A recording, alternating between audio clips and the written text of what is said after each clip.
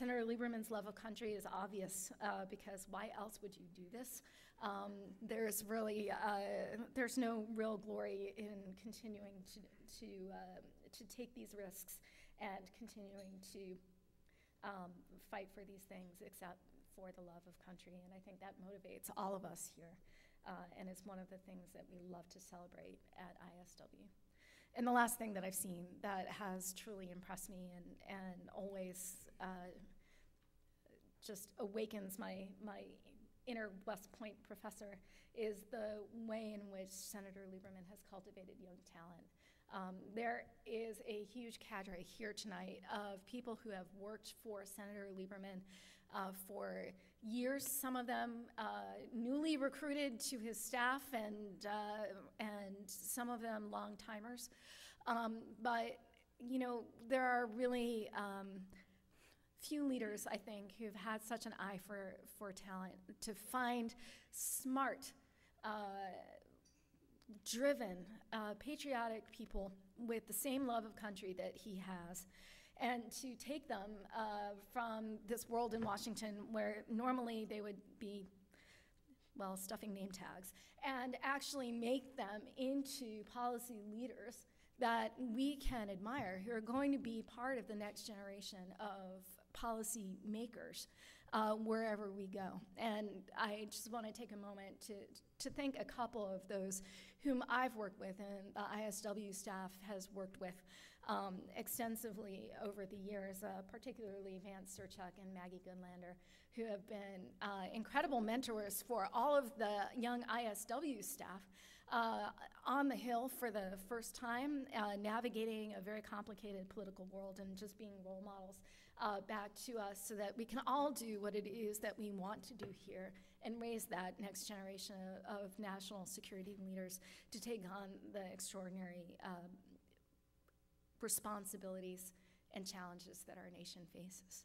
And so, Senator Lieberman, if you would come to the podium and please, uh, John Casey, if you would join him, um, I would really like to take this moment to present the award to you. Now, we at ISW have a tradition of not handing off baubles because, well, we uh, know what happens to those. Um, and we also have a tradition uh, at ISW of absolutely loving maps. Uh, we're very, uh, very determined to make sure that you read your military history with a map and that you study your military operations with a map. In fact, one of the, the first things I remember doing is briefing Senator Lieberman and Senator McCain with a big map of Iraq. Uh, and boy, we zoomed all over those villages and got into a lot of detail. And so, uh, what I uh, really wanted to do today was to give you a sense of the history of the area that you've studied, uh, worked on, uh, and changed very fundamentally during your tenure. And so the map that we're giving you today, um, map of Persia, Asiatic Tur- uh, Turkey, and Arabia, was actually uh, rendered in 1766 by Louis Brion de Tours. Uh, back, back in Paris, he was the car- royal cartographer, probably at a, a, time that wasn't really good for being a royal cartographer.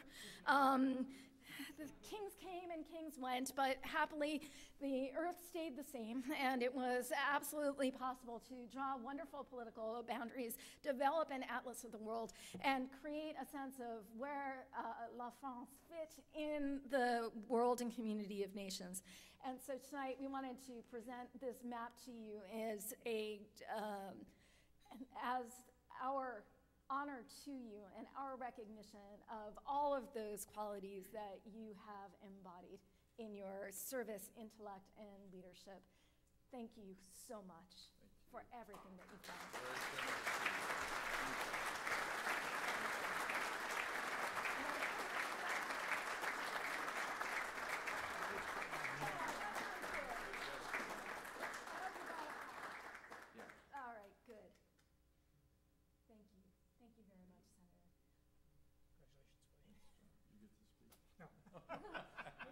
Many good things to say.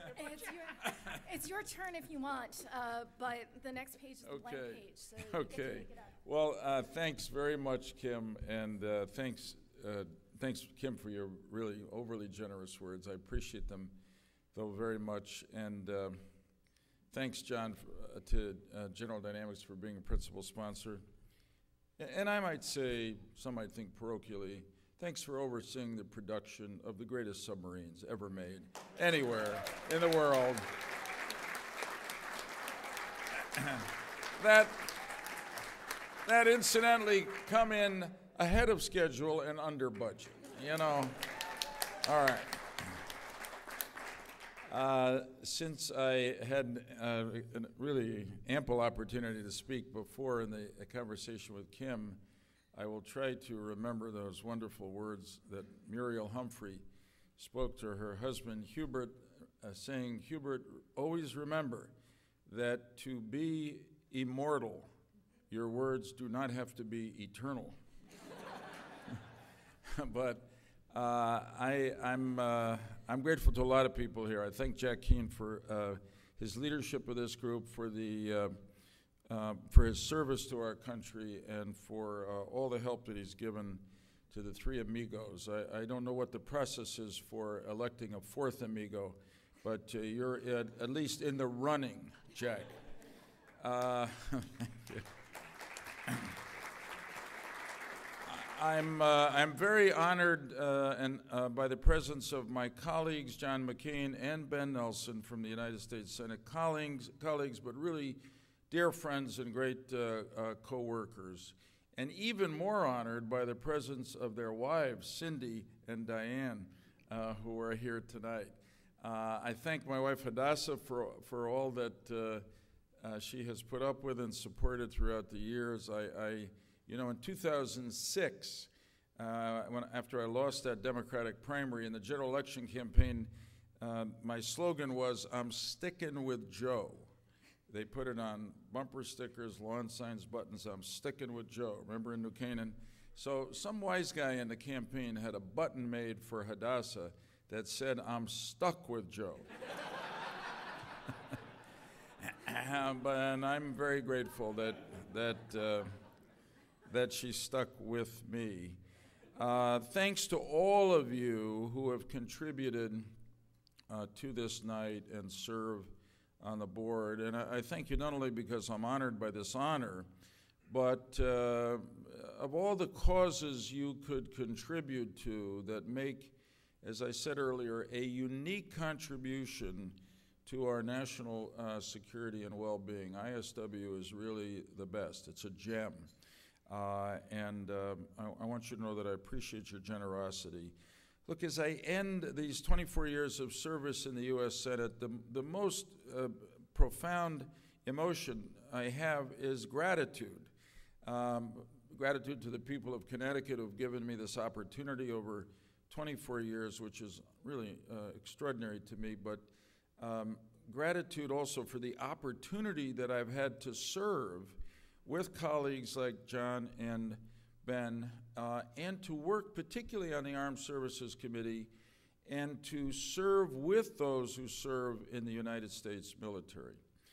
Uh, I believe in America. I love America. And I know uh, with pride how much America has contributed to the world. As we said before, there are hundreds of millions, I, will be exuberant and say more than a billion people in the world today who are living in freedom and uh, out of poverty because of the unique uh, global leadership principle, and I'd say selflessness of the United States of America, secured at every point uh, by the men and women uh, who serve uh, in the United States military. Uh, the, the people in the U.S. military have given me such uh, inspiration and cause for confidence in our country. We really are unique. I mean, we are a country that was founded uniquely on a principle that uh, every one of us uh, is endowed by God at our birth with those rights to life, liberty, and the pursuit of happiness. And incidentally, the good Lord didn't just give that endowment to us who are lucky enough to be Americans. It's a universal declaration of human rights, which we, mostly through our military, uh, and the service and sacrifice and loss of, of a lot of lives have expanded and extended and guaranteed for those hundreds of millions of people uh, around the world. Um, you know, I, I remain very confident about our future. I think if we have a problem in this country, frankly, it's here in Washington. I think we're just one grand fiscal bargain away from solving our national debt problem and, in my opinion, unleashing all the creative energy uh, and investment, investment capacity of this country and, and going on to a period of, of great uh, economic growth when uh, we will be able to support our military so it can support us in the way we want. I mean, would anybody here want to be a citizen of any other country but the United States of America? Uh, you know, I always say uh, one market test of this is that there's no other country in the world where as many people are trying to get in legally and as few people are trying to get out as the, the United States of America. And you look at anywhere else in the world, European Union, China, Japan, India, who has a brighter future if we get it together uh, than, uh, and I mean again in government, than, than the United States of America because of all the human talent, all the uh, capacity for entrepreneurship and uh, innovation uh, that we have. And all of it ultimately is guaranteed um, by the service of, and leadership of our military. So to have, to have um, had the opportunity to work as closely as I have for the last 24 years, particularly the last 20 as a member of the Senate Armed Services Committee, is really a privilege. Uh, uh, so great that I can't adequately express um, my thanks for it. And it means that an award like tonight and all the kind words and generous words that Jack and Kim and others have spoken really are unnecessary. They're deeply appreciated.